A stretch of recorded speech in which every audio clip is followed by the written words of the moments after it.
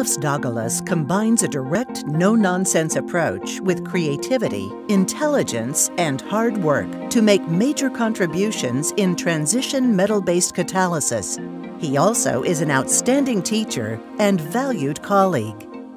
The associate professor at the University of Houston primarily explores the functionalization of carbon hydrogen bonds, finding new ways to transform organic molecules into other organic molecules in fewer steps and with less waste. For his research success, love of teaching, and commitment to science, the Welch Foundation honors Dr. Daugulis with the 2013 Hackerman Award in Chemical Research.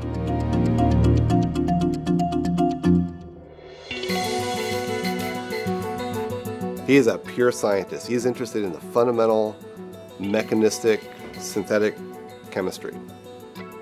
Figuring out how to make this group of atoms go into that arrangement. He's got it all together on his science. There's no doubt about that. I mean, his science is top notch, and that's what this award reflects. He has a, an encyclopedic uh, knowledge of the uh, chemical literature, which is really important in his field of study. He's incredibly hard worker, and he's also someone who's creative. He thinks about different ways of doing things. He's a fantastic scientist and colleague. Born in Latvia, the son of electrical engineers, Dr. Daugulis gravitated to chemistry early. I was blowing up things as a kid, so I liked to burn things and blow things up and you know at some point you start wondering how to make it more efficient and you start learning what's the chemistry behind explosions and fires and you know that's how I became interested. After receiving a chemical engineering degree from Riga Technical University, Dr. Daugulis earned his doctorate in organic chemistry at the University of Wisconsin-Madison with Edwin Vedejs and completed a postdoctorate with Maurice Brookhart at the University of North Carolina, Chapel Hill. He joined the UH faculty in 2003. Dr. Daugulis develops new reaction methodology to reduce the number of steps required to transform CH functionality into carbon-carbon or carbon heteroatom bonds. These new reactions may ultimately prove useful in shortening pathways to drugs or as precursors to polymers in industry. So we are, I think, working on the borderland between organic and organometallic chemistry. We are trying to develop new organic methodology based on fundamental organometallic reactions and specifically we are trying to functionalize carbon-hydrogen bonds. I can think about it as a puzzle, so you uh, have certain amount of information or certain pieces of information and you put it together and you get a new reaction. Dr. Daugulis's impressive record of contributions to CH bond activation and cross-coupling chemistry has been lauded for its creativity and practicality. He also has contributed to the development of a new and efficient methane oxidation system, working with colleagues at the University of Chicago. Many of his 43 independent papers have been published in the field's leading journals and are highly cited, including one more than 300 times.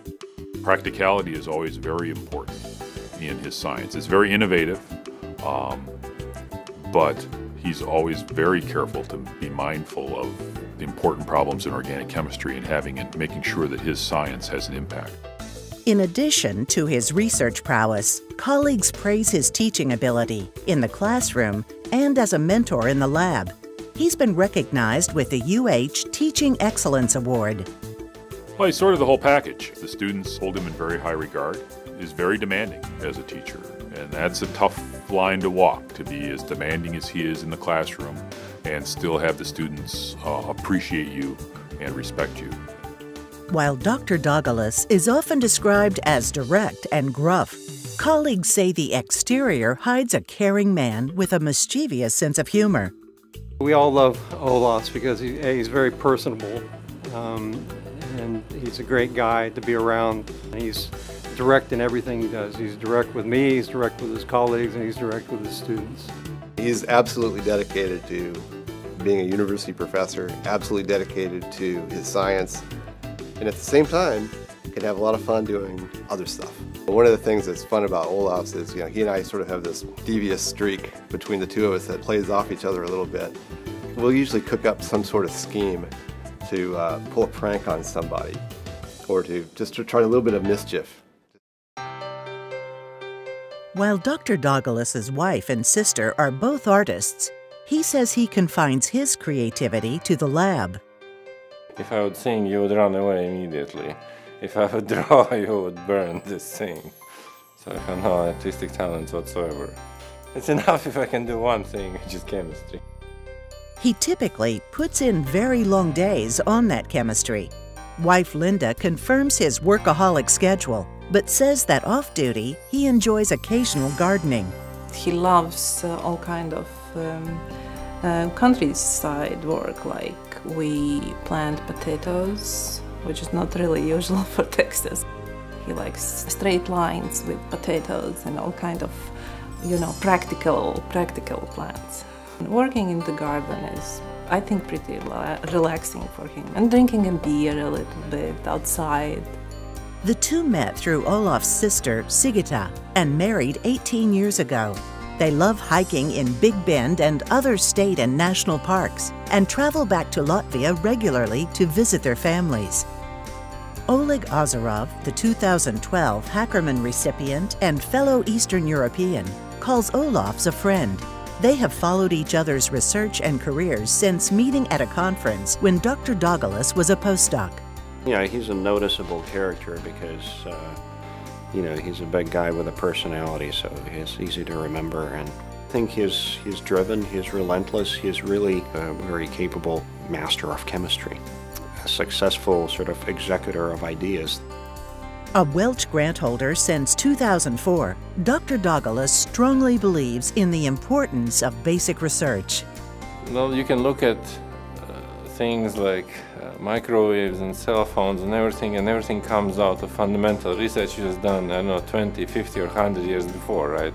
So good fundamental research eventually results in applications which benefit society.